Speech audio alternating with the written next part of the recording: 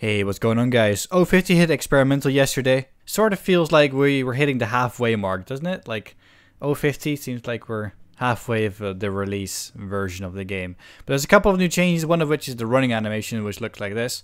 It's a bit iffy, may, may need some work, but we'll see. This one is the new uh, animation uh, stance for holding a pistol. But the bulk of this patch has been the new map addition. So there's a small little coastal town to the northeast of Svetlo, which looks like this. Don't worry, this is Arma 3, but it's the latest experimental map loaded into Arma 3. It just makes it easier for us to get these videos out quicker because uh, you get all kinds of admin powers and Arma 3 editor, obviously, that we don't have on DayZ So uh, it looks pretty cool. This is the building that has actually already been in the game. It came from Skalisty Island. If you've never been on the island, this is one of the buildings that was that was on it, and uh, it's been reused for this little little area. It's probably going to be used as a boat spawn later on in the game, I presume. The whole area in between Novo and Severograd has also been filled in, so now there's a little power plant over here. It's going to speed it up uh, walk through it quickly. Uh, this is actually Pobeda Dam. If you if you remember this from the mod or if you played Arma 2, then uh, you've probably seen this. Uh, it's been re relocated from uh, Gzvotno. I hope I didn't butcher that name. Uh, been moved to the highway just west of uh, Novo. The whole area around Severograd and Severograd itself has also been finished and it looks absolutely stunning. Um, I'm going to be doing a full tour in this video uh, later on. I'm just going to be talking about what else is going to come into Experimental Branch pretty soon as a new dev blog actually just hit. And uh, the, the subjects that, that they're touching on is uh, Experimental Branch is now operating at 50 players per server. Uh, in the future, experimental cycles will have varying amounts of uh, maximum players to test the server strain, and uh, hopefully we'll be getting closer to the 100 player Uh, mark that they're that they're aiming for. I'm actually really excited for this change. They're finally upping the player count on the servers. This is one of the things that makes DayZ a bit boring at the moment. 40 players is just not enough to fill up the whole map, as the map is pretty huge. It's actually bigger, bigger than it was in Arma 2. And uh, on Arma 2, like sort of like around 60 to 65 players worked really well. And it's actually below that limit with a bigger map, so it doesn't really make sense. But uh, they're finally changing that, and it should make the game a whole lot more interesting. If you haven't played the game in a while, might be uh, worth picking it up after these changes have made it in. They're also touching on the hacker subject as new methods of detection are being deployed on experimental uh, that are going to work with BattlEye to hopefully prevent the hacking problem that has been going on whilst they're uh, they're patching up vulnerabilities in the system. We're only a couple of weeks away of being able to rent private shards, uh, private servers for DayZ that are going to run private shards of the central Hive system that, or database system that uh, Bohemia have. Um, there's not going to be a private Hive as they're still dealing with uh, hacking problems and that kind of stuff. So the database is going to be controlled by Bohemia themselves as of now. One big change that's coming in in the next couple of months is the addition of zombie sensors and uh, improved AI for the zombies uh, that are going to help with the bringing back the stealth element of DayZ. In the DayZ mod, you were able to crawl around uh, zombies. If you're really quiet or really uh, low profile, zombies would actually have trouble seeing and hearing you.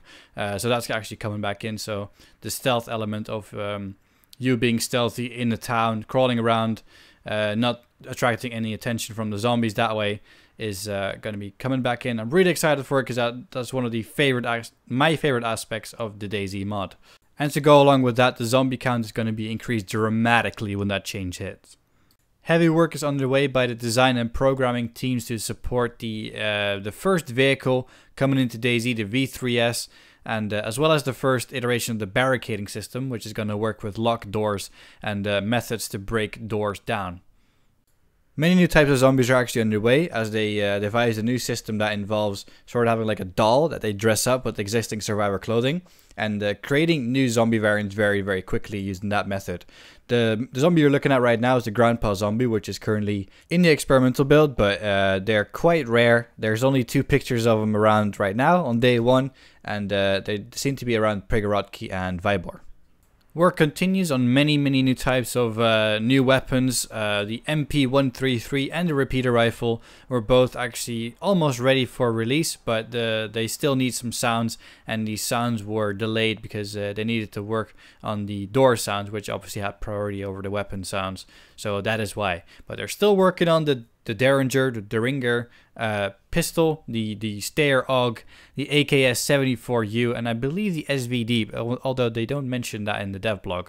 So the last little things that caught my eye were in the notes, uh, one of which is the prison uniform, and the second thing is a large military tent. So out of speculation, because it doesn't actually say what kind of tent it is, maybe it's just a model, or it could be a tent that you can set up yourself, which I'm actually hoping because the tent that we have right now is bright blue and easy to spot. the, the new large military tent is actually large, so I hope it's not too large that you can actually, you know, you know, stick it in somewhere and hopefully people won't be able to find it, but we'll have to see about that. As for now, guys, uh, I'm to leave you guys with the, the remaining tour of Severograd. It looks absolutely awesome. It looks really natural, and uh, I hope you guys enjoy. Goodbye.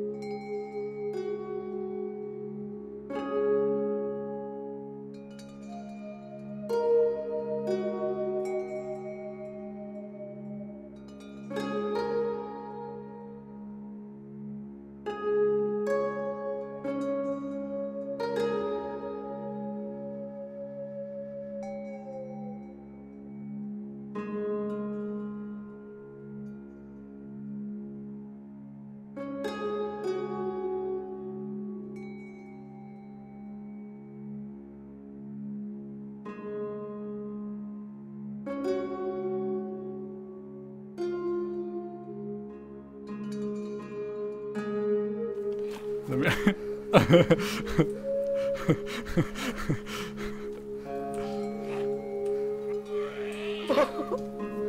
I'm, I'm stuck! What the fuck? What?